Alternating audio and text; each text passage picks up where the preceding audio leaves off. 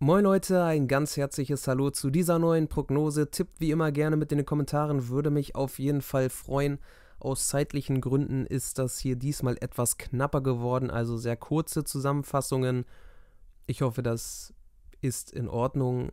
Wie gesagt, es war jetzt aus zeitlichen Gründen nicht anders handzuhaben. Ich wünsche euch trotzdem viel Spaß beim Zuschauen. Und dann geht es ja in Kürze auch schon los mit den Achtelfinals. Viel Spaß und los geht's. Sehr spannende Ausgangslage in Gruppe E. Vier Mannschaften, alle drei jeweils mit drei Punkten. Spiel Nummer 1, Slowakei gegen Rumänien. Die Slowaken in Blau erwischten den besseren Start und gingen in der 8. Minute mit 1 zu 0 in Führung. Ein starker Abschluss mit dem linken Fuß in die lange Ecke. Verdienter Führungstreffer. Slowakei hatte durch Haraslin die nächste Großchance in der 27. Minute und auch diese konnten sie nutzen. Die Rumänen hinten zu anfällig, vorne zu ungefährlich. Dann aber kamen sie mal kurz vor der Pause. Der Ball zurückgelegt. Drago Schmidt dem Anschlusstreffer noch vor der Pause. Der perfekte Zeitpunkt, um wieder ins Spiel zu finden. Rumänien ja vor dem Spieltag Tabellenerster sogar. Das hier zeigte dann wieder, warum sie da stehen. Nicht ganz unverdient, vor allem das erste Spiel gegen die Ukraine war ja extrem überzeugend. Aber die Slowaken, sie waren weiterhin in Führung, mussten sich aber weiteren Angriffswellen der Rumänen entgegensetzen und das klappte nicht so gut. Dragosch, 52. Minute mit dem 2:2 Ausgleichstreffer.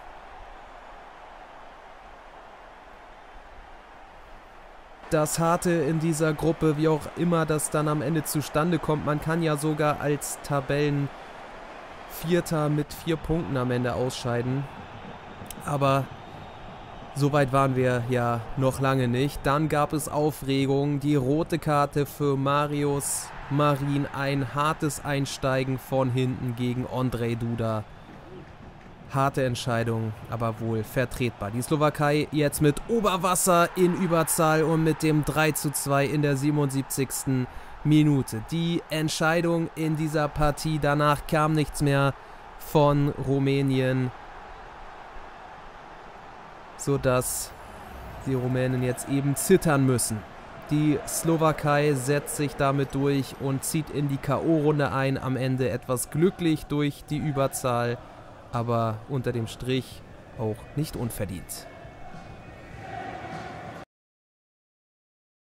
Parallel dazu Ukraine gegen Belgien. Ein Duell, ja auch eben folgerichtig zweier Mannschaften, die einmal gewonnen und einmal verloren haben. Die Belgier waren wirklich überzeugend gegen Rumänien. Die Ukraine zeigte hier aber auch, was sie kann. Drehte das Spiel gegen die Slowakei, gewann dort mit 2 zu 1 hier die erste gute Chance und auch die beste im ersten Durchgang von Castells pariert. Torlos zur Pause. Belgien erinnerte jetzt wieder eher an das erste Gruppenspiel gegen die Slowakei und das ist ja nicht gut geendet. Mudrik auf Jamolenko in Minute 52 und da ist der Führungstreffer für die Ukraine.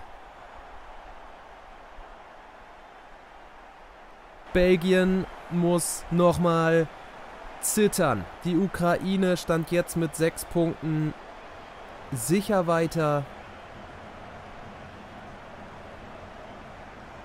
Da sah die belgische Defensive alles andere als gut aus. Und auch die Offensive war nicht besonders sehenswert an diesem Tag. Wir sind in der Nachspielzeit. Es wurden verzweifelte Angriffe, die aber immer wieder in Ungenauigkeiten endeten. Und so auch hier.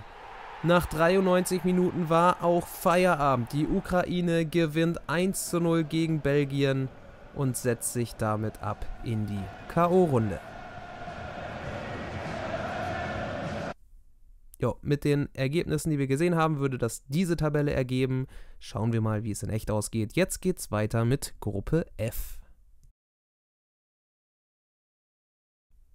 Georgien gegen Portugal. Die Portugiesen sind bereits qualifiziert und das auch als Tabellenerster für die Achtelfinalpaarungen Jetzt war die Frage, kann Georgien gewinnen und sich damit ja in die nächste Runde retten? Es sah nicht danach aus, weil Portugal sehr gut aufspielte und wie schon gegen die Türkei ein deutlich besseres Gesicht zeigten als noch im ersten Spiel gegen Tschechien, was sie aber am Ende ja auch gewannen.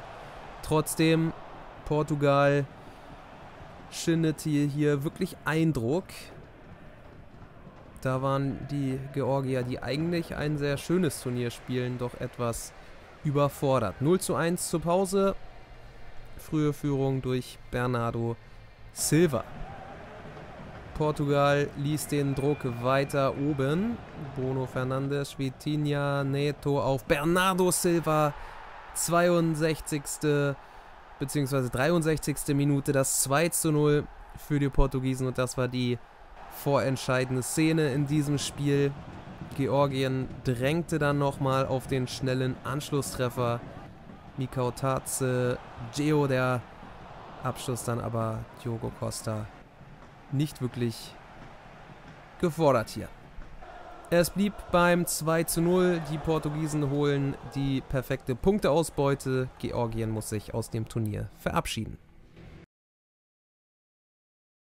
Machen wir die Gruppenphase rund mit Tschechien gegen die Türkei. Die Türkei als Tabellenzweiter und drei Punkten würde ihnen hier ein Unentschieden reichen, aber damit wollten sie sich gegen Tschechien nicht zufrieden geben. Die Tschechen, die auch im ersten Spiel knapp verloren, dann gegen Georgien teilweise nur überzeugen konnten, waren hier durch Adagüler dann im Rückstand. Nach 21 Minuten die Türkei konnte das drückende Übergewicht in eine Führung ummünzen die zu dem Zeitpunkt vollkommen verdient war. Halbe Stunde gespielt, dann Kökçü setzt dem Ganzen noch einen drauf. 0 zu 2.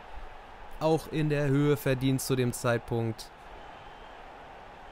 Das war jetzt wieder das Gesicht der Türkei aus dem ersten Gruppenspiel. Gegen Portugal war man dann an Spieltag 2 ja fast hoffnungslos unterlegen, vor allem nach den ersten Gegentreffern. Durchgang Nummer 2 dann nicht mehr ganz so spektakulär. Türkei wollte nochmal erhöhen. Arda Güler. Aber Stanek verhindert das 0 zu 3. Trotzdem gewinnt die Türkei, geht damit als Tabellenzweiter ins Achtelfinale. Ja, das wäre dann die Tabelle aus dieser Gruppe. Ich hoffe, es hat euch gefallen. Lasst gerne einen Daumen nach oben und ein Abo da. Bleibt gesund. Bis zum nächsten Mal. Haut rein und adios.